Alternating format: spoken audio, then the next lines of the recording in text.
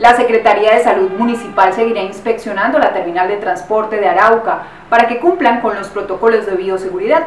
También se harán este mismo proceso al ingreso de migrantes a la terminal.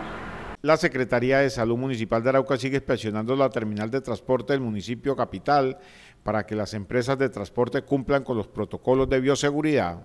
Sí, ya estuvimos eh, la semana inmediatamente anterior haciendo verificación en cuanto a la competencia de la Secretaría, que es verificación de los protocolos, cumplimiento en esa verificación de los protocolos que ellos anteriormente llegaron. Eh, se hicieron algunos compromisos, encontramos hallazgos allá.